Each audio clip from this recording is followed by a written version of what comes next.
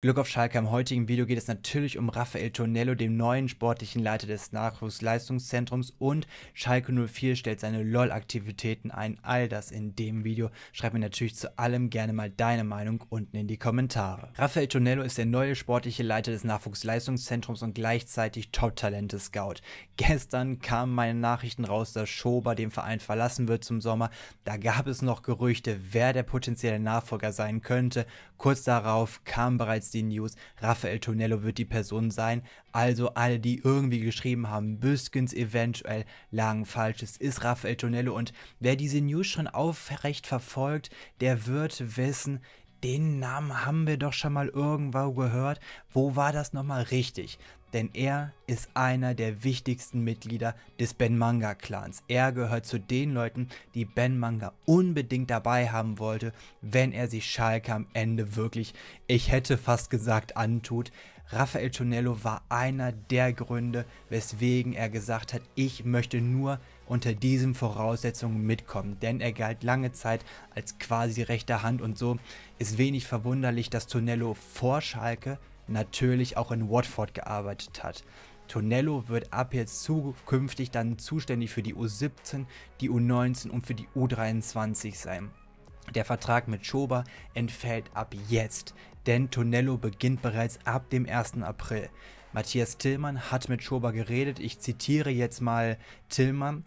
Wir haben uns lange und intensiv mit Matthias ausgetauscht, ihm unsere Beweggründe dargelegt, erklärt, warum die Neustrukturierung im Sport und auch Auswirkungen auf das NLZ haben muss und welche neuen Impulse wir uns versprechen. So der CEO auf der offiziellen Schalker Seite. Natürlich ist Schober für einige Spieler zuständig gewesen, die auch jetzt erfolgreich sind. Keke Top, Asan Uedraogo, Malik Chow und weitere. Aber man wollte auf Schalke neue Wege gehen. Und auf der einen Seite kann ich das auch verstehen, weil neue Möglichkeiten vielleicht ausloten. Und man hat ja in diesem in diesem Mitgliederbrief gesagt, man möchte sich professionalisieren, aber gleichzeitig könnte das auch ein Fingerzeig darauf sein, dass der Ben Manga Deal, der ja bei manchen mittlerweile schon als quasi off galt, noch nicht ganz so off ist, wie man das vielleicht vermutet, denn der wird nicht umsonst zu uns kommen. Rafael Tonello war, wie gesagt, ein ganz klarer Wunsch von Ben Manga. Jetzt wird es wahrscheinlich darauf hinauslaufen, die Mannschaft muss liefern. Wenn die Mannschaft liefert und relativ zeitnah zeigt, wir werden in der zweiten Liga nächste Saison spielen, dann könnte da wieder deutlich mehr gehen.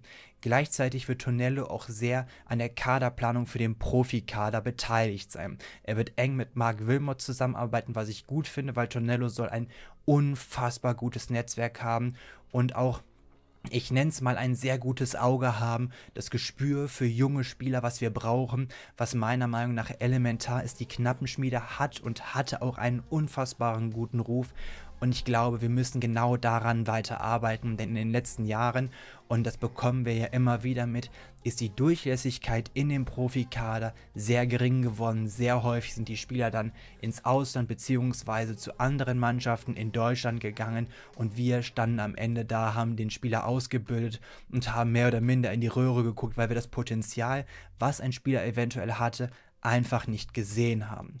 Gleichzeitig soll er so ein bisschen die Schnittstelle, sage ich mal, sein. Er soll die Schnittstelle sein zwischen den Profis und den Jugendspielern. Und ich glaube, genau das ist eine Person, die wir auch einfach brauchen, denn es gibt einfach Unterschiede. Es gibt Unterschiede zwischen dem Jugendfußball und dem Profifußball. Das hört man so häufig und so häufig sagen wir ja auch, ja, schickt doch einfach die U19 dahin, wenn die Jungs mal wieder vorne richtig Mist spielen. Das sagt sich so leicht. Das Problem ist eigentlich aber das ist noch was ganz anderes. Jugendfußball, Profifußball kannst du einfach nicht vergleichen und dementsprechend gibt es dort einfach ganz andere Strukturen nochmal. Dieses Bindeglied ist nun mal wichtig und ich glaube, dass Rafael Tonello da wichtig und gute Arbeit leisten kann. Gleichzeitig kündigte Matthias Tillmann auch an, dass so bei der U17, U23, aber auch U19, wobei das ist relativ logisch, dass Norbert Elgert nicht den Verein verlassen wird, beziehungsweise dass man ihn nicht feuert. Keinen neuen Trainer bekommen werden. Das bedeutet, es wird überall gleich bleiben, da wird es keine Veränderungen geben. Gleichzeitig sollen aber mehr Jugendspieler einen Profivertrag bekommen. Momentan ist es ja nur Vitali Becker, der einen Vertrag bekommen hat. Tillmann kündigte dort an, dass es dort weitere Jugendspieler gibt, die einen Vertrag für die Profis bekommen werden. Ebenso, laut Dirk Große-Schlamann, ist die Umstrukturierung insbesondere in der Scouting-Abteilung noch ganz am Anfang hätte ich fast gesagt, also da wird es noch einiges mehr geben. Die Mitarbeiter wurden dort bereits informiert, wo eventuell Veränderungen stattfinden könnten. Das hängt natürlich auch davon ab, wer denn als technischer Direktor noch kommen wird, denn auch diese Position möchte man weiterhin noch besetzen. Wie gesagt, Ben Manga ist natürlich immer noch Ziel Nummer 1, auch wenn es da laut mehreren Medienberichten keinen Automatismus gibt, dass das Ganze jetzt auf einmal dann umgesetzt wird, wenn XY erreicht ist. Da ist man also noch ein bisschen entfernt davon, aber man sucht diese Position noch und davon hängt natürlich dann auch ab, was in der Scouting-Abteilung noch passiert bzw. nicht passiert. Der S04 beendet sein E-Sports-Engagement beim Spiel League of Legends und gleichzeitig hält man aber das EAFC-Engagement, was bei den meisten immer noch unter FIFA bekannt wird, sein wird, weiterhin bei.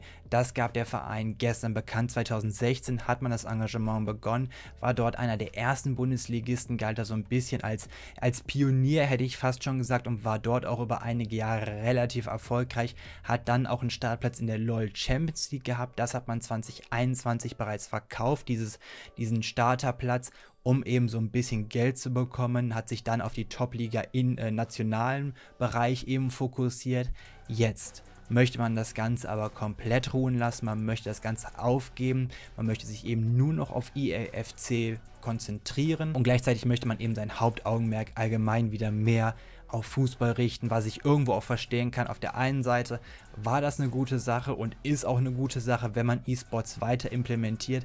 Allerdings muss man sagen, es darf halt nie dann wirklich so weit kommen, dass das so viel kostet an Arbeit, so viel kostet an Aufmerksamkeit, dass der Hauptaugenmerk Fußball so ein wenig verloren geht und ich glaube, wir haben momentan ganz andere Probleme. Deswegen so ein bisschen mehr Fokus auf den Profi- und Nachwuchsfußball kann ich absolut verstehen. Und dann muss jeder für sich selber wissen, ob er das jetzt wirklich gut findet oder eher schlecht. Schreib mir deine Meinung gerne unten in die Kommentare. Das waren die News für heute. Morgen gibt es dann den Vorbericht zum Spiel. Ich bin sehr gespannt, was du alles so schreibst. Bis morgen.